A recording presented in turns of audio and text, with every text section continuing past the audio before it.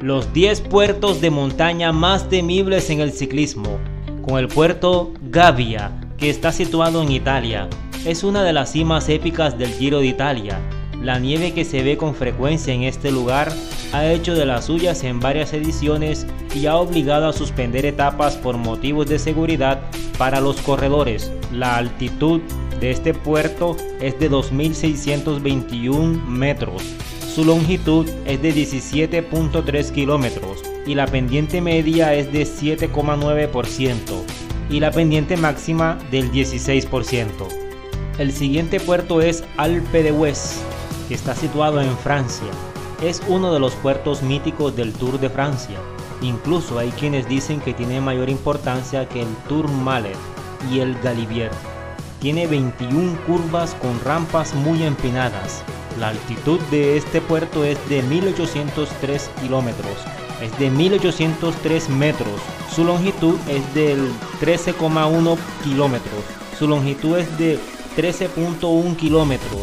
Su pendiente media es del 8.19% y su pendiente máxima del 12%. Puerto Lagos de Covadonga está situado en España. La primera vez que la Vuelta a España utilizó este lugar para el final de una etapa fue en 1983. Desde ese año ha sido ganada cuatro veces por ciclistas colombianos, todos ellos escaladores legendarios como Lucho Herrera en el 1987 y 1991, Oliverio Rincón 1993 y el gran Nairo Quintana en el año 2016. La altitud de este puerto es de 1135 metros, su longitud es de 14,2 kilómetros. Puerto Mortirolo está situado en Italia. Desde 1990 el Giro de Italia pasa por allí en 1994, el fallecido pedalista Marco Pantani realizó una gesta épica al dejar atrás a sus más enconados rivales y coronar la cima en un recorrido en solitario. Actualmente hay una escultura en honor del pirata Pantani. La altitud de este puerto es de 1852 metros. Su longitud es de 12,5 kilómetros. Su pendiente media es de 10.5% y la pendiente máxima es del 18%. Puerto Tourmalet está situado en Francia. Es uno de los puertos reconocidos en el que se destacan las gestas que han realizado sus protagonistas. Incluso la Vuelta a España ha pasado por su cima. Su nombre traduce Camino del Mal Retorno y la construcción del camino fue ordenada por el mismísimo Napoleón. La altitud de este puerto es de 2.215 metros. Su longitud es de 18.8 kilómetros y su pendiente media es del 7,4%.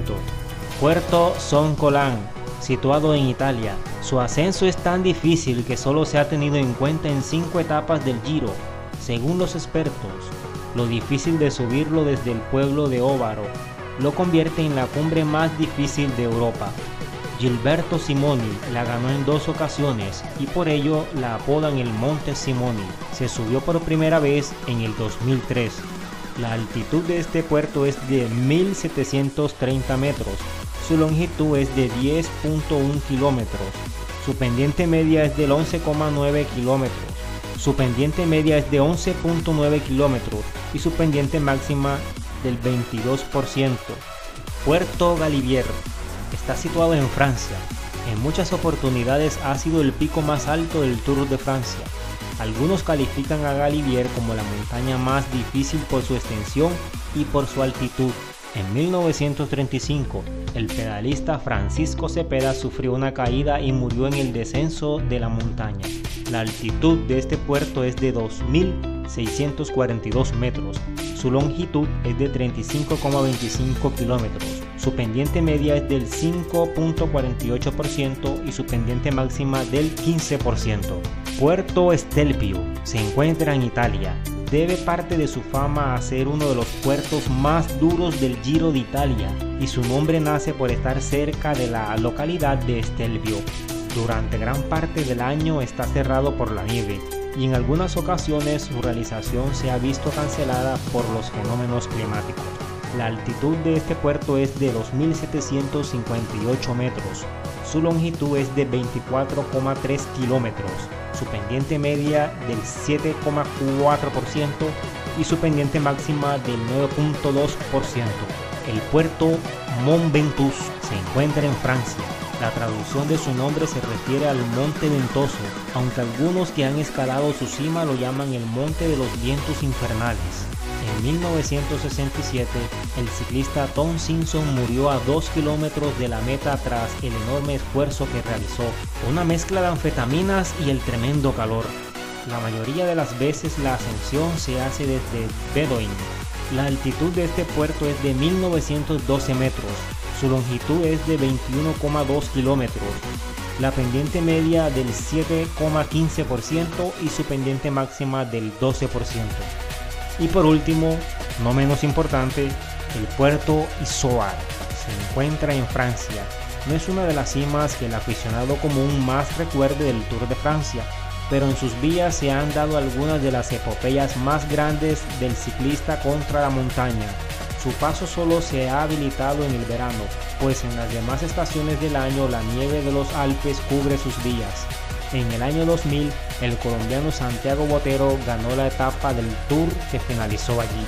La longitud de este puerto es de 2.360 metros, su longitud es de 15,9 kilómetros, su pendiente media es de 6,9% y su pendiente máxima del 14.5%. Recuerda que soy menese.com. Si te ha gustado el video, suscríbete, compártelo con tus amigos y deja tu comentario. Nos vemos en el siguiente video.